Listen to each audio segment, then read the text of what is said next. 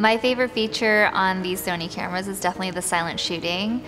I definitely am more of like a documentary style photographer. I don't like it when people know that I'm shooting them and so it helps me be a little more discreet in the way I'm shooting. A lot of times models will be like, I didn't even know you were taking a picture, which is great and exactly what I wanted. It helps me be more flexible and nimble in the way that I shoot.